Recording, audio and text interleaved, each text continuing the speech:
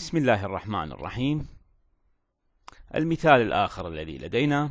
A tank of water إذا خزان ماء خزان ماء empty by gravity through a siphon to a lower tank. نقوم بتفريغه عن طريق خاصية السيفون بطريقة السيفون إلى خزان آخر منخفض. The difference level is 6 متر. الفرق بين المستوى سطحي هذا الخزان هو 6 متر مثل ما نشوف مستوى سطح الماء بالخزان الأول إلى مستوى سطح الماء بالخزان الثاني 6 متر. The highest point of this سيفون 2 متر. أعلى نقطة في هذا السيفون مقدارها كان 2 متر عن سطح الماء. 2 متر عن سطح الماء. To the surface level. The length of pipe from the inlet to the highest point 3 متر. إذا طول الأنبوب من المدخل إلى أعلى نقطة من المدخل إلى أعلى نقطة 3 متر. قطر هذا الأنبوب هو 30 ملم 30 ملم وطوله 11 متر. من أقصد طوله من هذه المكان إلى هذا المكان. طوله كله هذا الأنبوب 11 متر.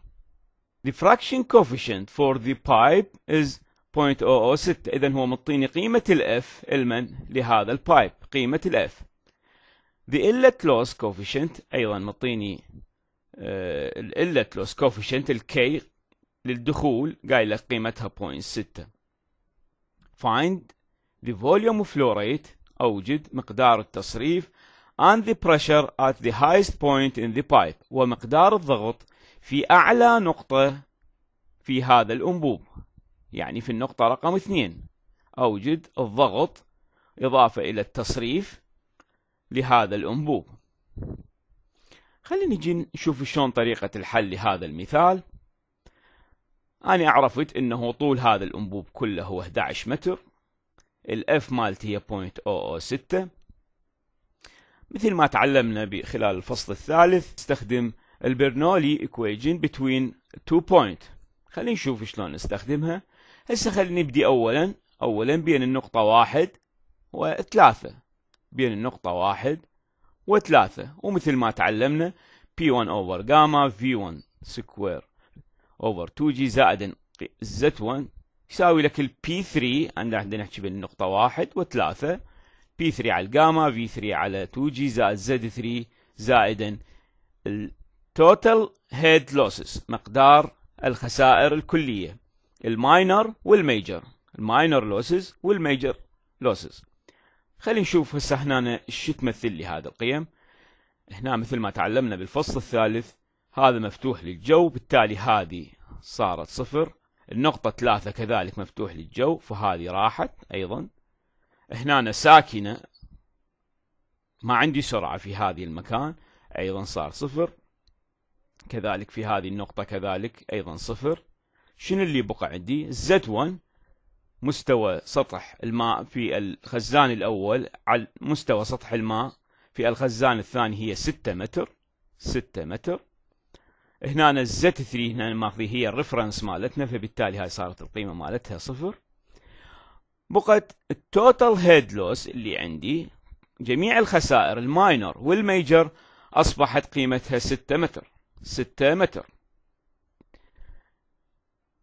إذا ال head loss الخسائر تشمل هاي ال head loss شنو؟ الخسائر بال inlet واحد زائد الخسائر بال exit زائد خسائر الأنبوب خسائر اللي بالأنبوب. خلينا نشوف هاي شلون نمثلها.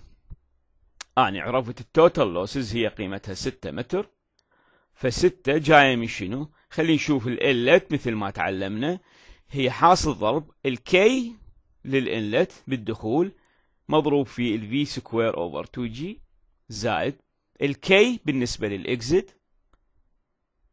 في ال V square على 2G زائد الخسائر بال pipe جاية من حاصل ضرب ال friction في الطول على ال diameter في ال V square over 2G هذه مجموعة تساوي الخسائر الكلية واللي مقدارها إيش قد؟ مقدارها 6 ال K بال inlet مطيني إياها؟ نعم. inlet losses coefficient قايل لك 0.6 إذا 0.6 في ال V square على 2G بال exit دائما ناخذها في حالات الخروج. ال K راح تكون قيمة مالتها واحد ففي في مضروبة في V square over 2G زائد ال F هو مطيني إياها 0.006 طول هذا الأنبوب الكلي 11 diameter مالتي عندي هو قايل لك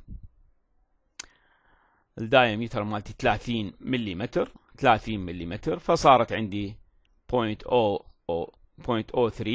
0.03 حولها بدلالة المتر. مضروب في ال V square over 2G من خلال هذه المعادلة جيت استخرجت لأن الوحيدة هي السرعة هي المجهولة. فبالتالي نستخرج قيمة السرعة. تطلع لي 5.5 متر per second عندك سرعة معلومة وعندك diameter موجود لل pipe أقدر أطلع ال Q نعم أقدر أطلع ال Q فبالتالي راح يصير ال Q هو حاصل ضرب ال A في قيمة ال V ال V معلومة صارت 5.5 متر.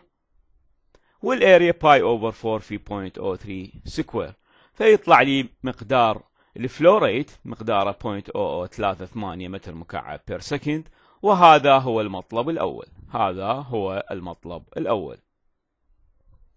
لإيجاد المطلب الثاني اللي هو ال pressure الضغط في أعلى نقطة من ال pipe الضغط في أعلى نقطة لل pipe اللي هي نقطة رقم اثنين. ناخذ معادلة أيضا برنولي بين شنو هسه؟ بين الواحد والإثنين بين هذه النقطة وهذه النقطة. أيضا المعادلة مالتنا المعروفة المعادلة آه، البرنولي أو ال energy equation نيجي نحطها. P1 جاما V1 square over 2G Z1 زائد P2 على الجاما V2 square 2G زائد Z2 زائدا مقدار الخسائر اللي عندي. طبعا الخسائر هنا فقط من النقطة واحد أو من بداية الأنبوب إلى النقطة اثنين. من بداية الأنبوب مدخل الأنبوب هنا إلى النقطة رقم اثنين إلى النقطة رقم اثنين. واللي هي المسافة قايل لك هو قايل لك المسافة مالتها 3 متر. The length of pipe from the inlet to the أعلى نقطة هي 3 متر. منا إلى هنا هي 3 متر. خلينا نشوف. بالنسبة للنقطة واحد مثل ما تعلمنا مفتوح الهواء للضغط الجوي فبالتالي هذه كانت صفر. سكون ساكنة هذه المنطقة ال V1 راح تصير صفر. هنا أنا بداية ال elevation مالتي صفر. هنا أنا راح تكون ال Z1 أيضا صفر. شو أسوي لك؟ الضغط في الأنبوب في النقطة رقم اثنين ما أعرف إيش قد فصارت P2 على جاما زائدا. السرعة في النقطة رقم اثنين على 2 جي طبعا هنا السرعة هي نفس السرعة اللي عندي هنا اللي هي نفسها 5.5 زائدا ال Z وال elevation للنقطة رقم 2 اللي هي 2 متر هي 2 متر زائدا ال total losses مقدار الخسائر اللي عندي زائدا ال total losses خلي أشوف هسه ال total losses اللي عندي هنا جاية من شنو وشنو. هنا جاية فقط الخسائر من المسافة هذه اللي هي 3 متر هاي واحد. زائدا المدخل خسائر المدخل خسائر المدخل. فبالتالي ال H هنا عندي راح تكون بال inlet losses بال inlet زائد خسارة بال pipe طول ال pipe اللي عندي اللي هي هنا إيش قد خلينا نشوف شلون نحسبها. ال H losses ال inlet هي جاية من حاصل ضرب مثل ما تعلمنا. ال K بال inlet في V square over 2 g زائدا. هنا مقدار ال losses هذا ضربه في 3 على 11 ليش ضربه في 3 على 11 لأن هو نسبة هذا الأنبوب نسبة هذا الأنبوب من الخسائر. يعني أنا ما أريد أطوله كله على ال 11 متر لا أنا دا أخذ شنو؟ 3 من ال 11 في الخسائر مالته. ف3 على 11 في قيمة الاف في طول الكلي. طبعا هذا هنا طول الكلي على دي يعني أنا أريد أحسب فقط الخسائر من بدايته لحد النقطة رقم اثنين حد النقطة رقم اثنين اللي هي ثلاثة من طول الأنبوب الكلي 11 من طول الأنبوب الكلي 11 فإذا هي ثلاثة على 11 في قيمة ال losses اللي عندي. في قيمة ال losses الكلية اللي عندي اللي حاصل جاي من حاصل ضرب ال friction. في طول ال على D في قيمة ال V square على 2 g زين هنا أنا أني هذني القيم هنا أنا راح تكون أعوضهن. ال V سرعة عندي اللي هي خمسة ونص خمسة ونص. الطول الكلي عندي اللي هو 11 ال diameter عندي معلوم. ال V كل القيم هنا راح تكون معلومة فقط اللي هي ال total head loss أو الخسائر الكلية هي اللي راح تكون مجهولة وتطلع لي قيمتها 0.92 متر 0.92 متر. زين. هذه وأنا اعوضها راح أجي اعوضها في معادلة ال energy equation اللي هي بين نقطة واحد واثنين. هذه المعادلة اللي صفت عندي.